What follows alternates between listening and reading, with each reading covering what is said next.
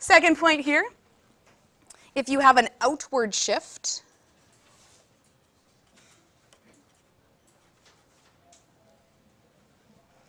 this is an increase in demand.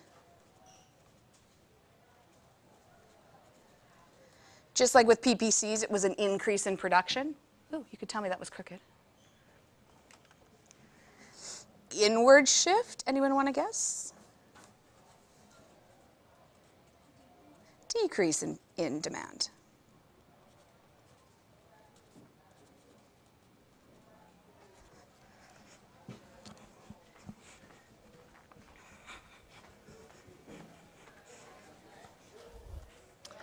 Okay, so here's a sample demand curve. Did the curve shift inward or outward, and how do you know?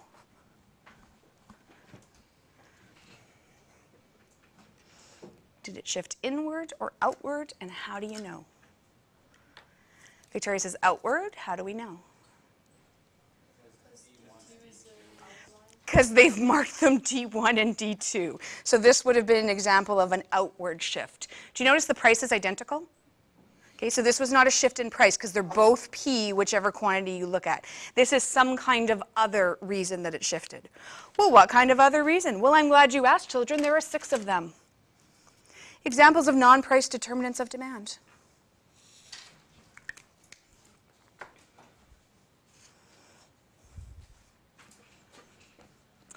So they are consumer income, consumer preference, prices of complementary goods, prices of substitute goods, population demographic seasons, government policies, and taxes. How can consumer income change the quantity demanded if the price doesn't change? Exactly. As you get more money, this is just like we talked about with our soda yesterday, you're going to buy more. That's exactly what this means.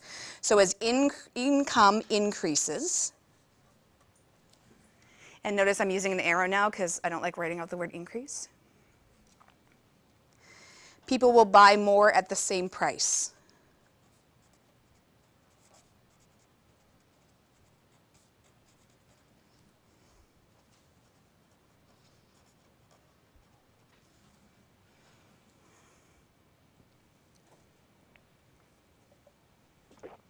So the price doesn't change, it's just the fact that the people now are earning more money, they're willing to buy more. We're not going to write it, but what happens if the income decreases? What if one of the people loses their job and suddenly the household has half as much money? What's going to happen? They're not going to buy as much, right? Because they don't have the money to do it. So the price of the good didn't change, it's the person's income that's changed. That's why that's called a non-price determinant. That's what shifts the curve either outward or inward. It's not a movement along the curve. Customer preference. Garrett, would you like to rename this? Uh, yeah. Yes. What would you like to rename it? Um, things that are better than other things. And what did we call it yesterday? This is the Pizza Pop. What did we call Pizza Pop incident? Pizza Pop? See- Effect. The Pizza Pop effect, exactly this. So Garrett's buying his Pizza Pops, everything's good, the price doesn't change, but suddenly he's like, whoa, no thank you, Pizza Pop. Why did he suddenly want less of them even though the price didn't change? What if they had like cut the price in half? What if they were like two cents? What if they were free? Right? Doesn't matter what the price is, he's not buying the pizza pop. And I think we've all had a food like that at some point that we've just gorged on and then, mm. Mine were, you know, the Halloween candies Whoppers, the chocolate covered malt balls. Can't do that. Can't even, I can't even think about them. Like I'm getting nauseous. Can't do it. Nope, just the thought of it. I ate too many in one sitting and I was just like, "Bleh." So this is affected by obviously your personal taste, but it can be affected by advertising.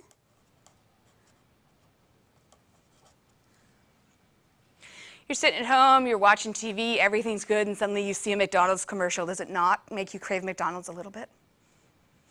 Right? Or you see a pizza commercial, like, oh my God, I totally want to order pizza. Right? That's what advertising can do. It's going to increase the demand, even though the price didn't change. Fashion.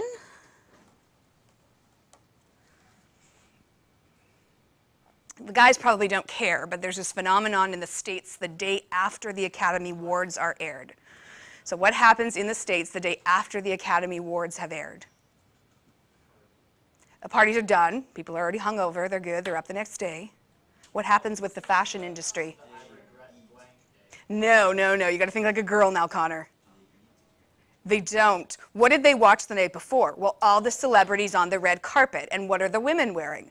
Gorgeous dresses and jewels and purses and new eyeshadows and everything. And what do we suddenly want the next day? Everything they have. So what happens is people will watch the Oscars and if you're a fashion designer, you'll stay up that night and recreate the dress somebody was wearing and then sell it the next day as a knockoff because somebody wants the dress Angelina was wearing or the dress that somebody else was wearing. The price doesn't change, it's just because of fashion trends and advertising, suddenly we all want it. Women are nuts when it comes to fashion. Seriously, women, I don't know if you know this, boys, we will wear shoes that don't fit and that hurt because they're pretty. Would a boy ever do that? No, I don't know. It's a girl thing. We, like they'll be a half size too small, but they're pretty and we'll wear them. They'll give us blisters, we'll still wear them. It's a girl thing. Fashion, environmental awareness.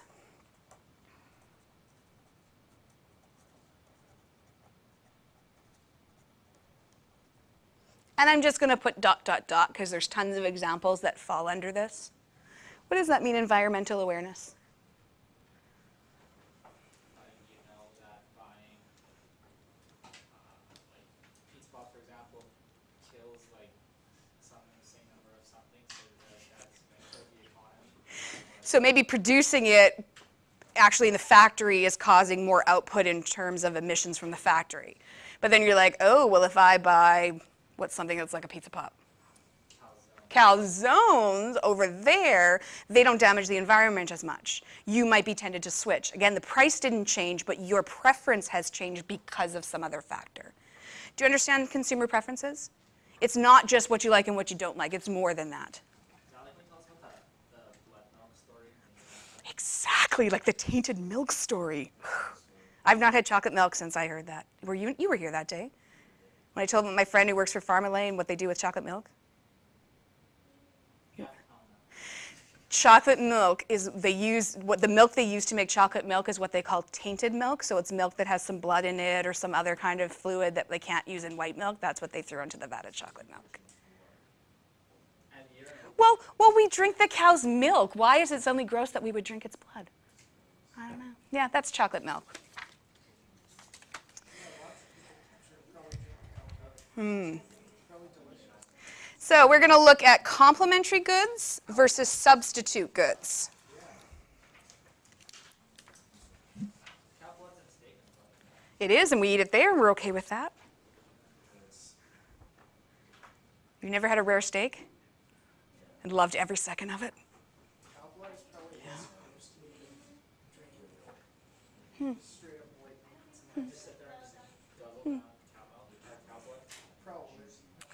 What's a complementary good? Well, what does the word complementary mean in English? It, it can mean free, not the sense I was thinking, but you're right. What are two goods? What does it mean if we say they're complementary? Without using the word complement. they go together, right? So an example could be your washing machine and your dryer. We typically buy those in pairs. The washing machine and the laundry soap. Would we buy laundry soap if we didn't have a washer? Probably not. Those are called complementary goods. So although it's not the price of our good that's changing, the price of a complement a complementary good might change. So if washers went on sale, you might also want to buy a dryer even if it's not on sale. Why? Because it's convenient, you want to keep them both the same timeline, you want to have new of each. So that's what we mean by complementary goods. So if the price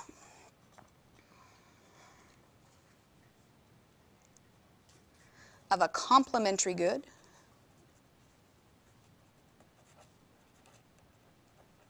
increases,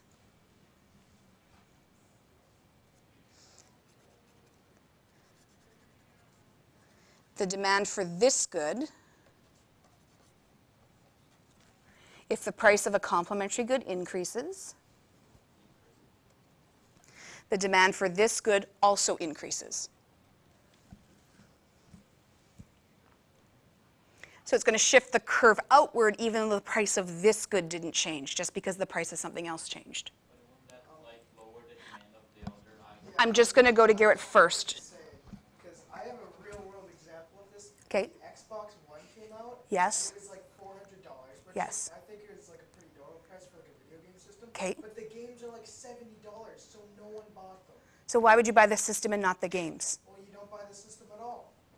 Because the games are seventy dollars, why would you spend $70? Okay, so let's say the price of the, what was this? A Xbox. He's very, pa- I love how passionate you are about your examples. Let's say the price of the Xbox went down to $50. Would you buy games? But are the games the same price? They're they still the same price, but this unit itself is down to $50. So the price of the complementary good goes down. Would you probably be more apt to buy games then? I'd probably buy the Xbox and sell for scrap. Right, in theory, you're probably going to pay less for the Xbox and buy some more games because you're not spending as much in total. That's what this is, price of complementary goods. So let's use that as our example. So the price of an Xbox, is there a particular number? Xbox Yeah, 3000, uh, Xbox, okay, Xbox, price goes down. Demand for the games is going to go up. That doesn't mean that every single person is going to run out and buy more games. It means generally across society, if the price of a complementary good changes, something's going to happen with the demand for the other one. So you might not buy one, and maybe Derek won't buy one, and Talon won't buy one, but somewhere people are going to buy. And don't forget, we looked at yesterday individual demand versus demand schedules for everyone.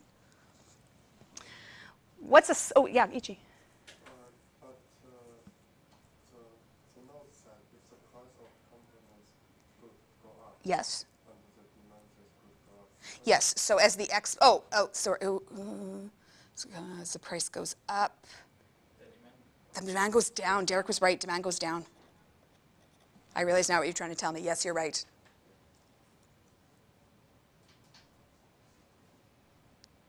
Yes, you're totally right. And our examples right down and up. So complementary goods are two goods that go together. What's a supplement or a substitute good?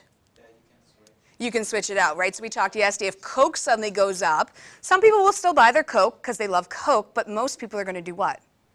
Buy Pepsi, buy brand name, buy whatever. Okay, so as the price of a replacement good increases,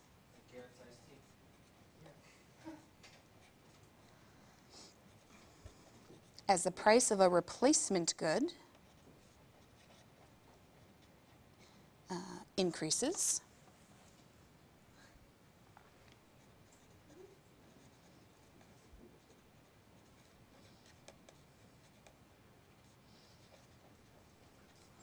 the demand for this good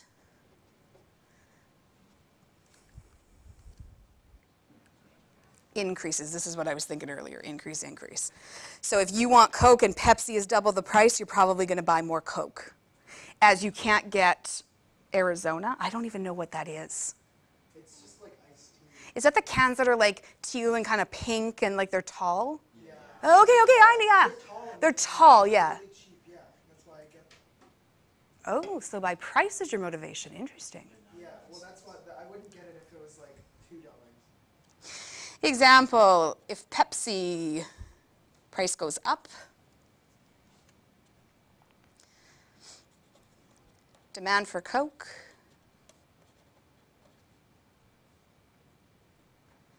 goes up. So Pepsi goes up, demand for Coke goes up.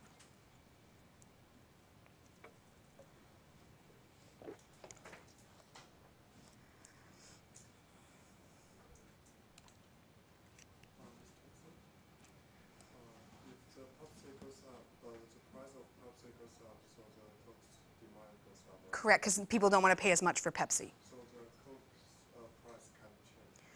Um, but we're talking about non-price changes, so what can shift the curve outward. So assuming the price is consistent, what's going to happen? The whole curve's going to move. Five is kind of a category where we throw everything that doesn't have another category. So population, demographics, seasons. Let's talk about population. As more people move into an area, what's going to happen to the demand of products? It's going to increase, right? That makes sense. Price is going to stay the same, but more people are going to want. What do they mean by demographics? What's a demographic? Garrett. Uh, a certain group of people like a certain thing. Okay, can you give me an example of a demographic?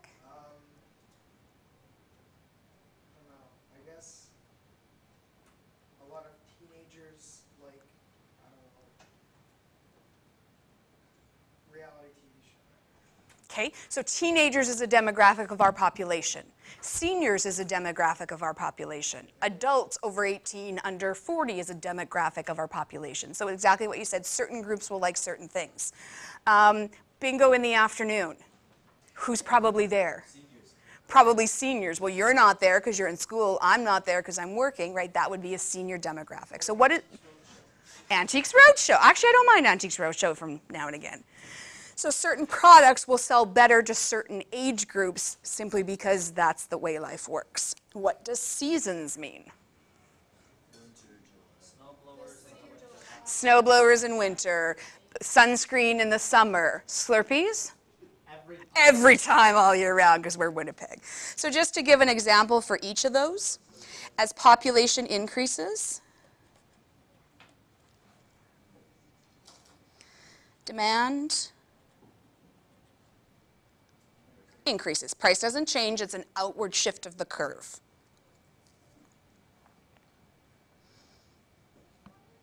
Demographic means certain age groups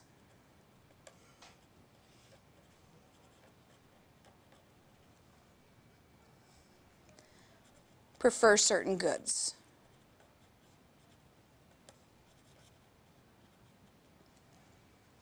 And that becomes important when a business is deciding where to open a new store, right? If you're in a neighborhood where it's new developments, it's a lot of families, young kids, they're probably not going to open a senior center there. Okay? They're probably going to open McDonald's with a play place. Why?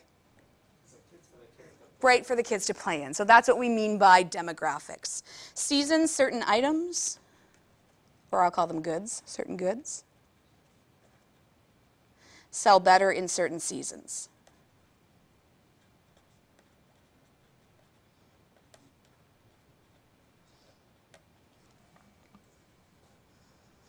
So the summer, for example, the demand of bathing suits is going to go up. Demand for snowsuits, probably down. In North America, what if we were in the southern hemisphere? Okay, well, it depends on the month of the year, but yes. Is, um, is Brazil the same seasons as us, or are you guys below the equator? You're opposite, aren't you? You're both. Oh, where you are in the country. um, on the south. So right now you are, Another small part of it. so you're in spring. And we're in fall. That would seem weird to me for Christmas to be in the summer. That would seem so bizarre. I can't imagine like Christmas without snow. That's funny. I'm always in winter. because you keep going back and forth. Government's policies and taxes. This is actually related to the short little article I sent you on Edmodo that you're going to read tonight. And it's about how yesterday the government announced that they're going to do a program to help people buy winter tires. So they're going to allow you to take the price of your winter tires and spread it out over four years rather than paying the whole thing right now. Why might that increase the demand? Easier to pay, right? More available for families that maybe don't make a high enough income. That's a government policy or taxes. So high taxes.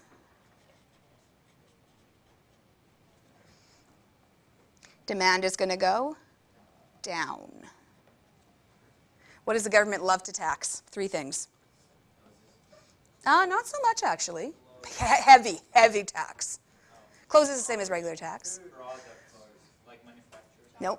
Nope, nope. They tax people, really? Three things that you can buy that have the highest tax rates in Canada. Gas is one of them. Huge tax rates. When you go with your mom or dad and you fill your tank, about 60% of that money is going right to the government. It's not actually to pay for the gas in your tank. Cigarettes, huge taxes on cigarettes. And that's why people are always wanting to go to the border to buy them because they're cheaper in the States. And Connor got the third one huge tax on alcohol. Why would they tax cigarettes and alcohol?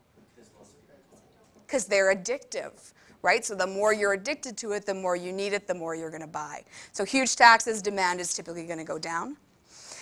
Um, an example for policies was when they instilled mandatory bike helmets. It's illegal not to, and I was going to ask you guys, is it 18 or is it 16? I think it's 18. No, I think it's I think it is 18 that's the limit. I don't have to wear a helmet if I don't want to. That would be stupid. It's my brain. I'm going to protect it. But it's actually illegal to not have a bike helmet. Well, what happened to the demand for bike helmets when they instituted that? went up, right? So they didn't change the price per se, but it's the government policy that changed the demand. My, okay, I don't know. My guess is they're probably going to give you a warning, then they would give you a ticket. I've never heard of anyone being arrested over a bike helmet. You know, really. That would probably make the news, some little kid crying and, you know, people being upset. I, yeah, they probably give you. Really, if you look at speeding versus bike helmet, the cops are going to concentrate on speeding because it's more money, right?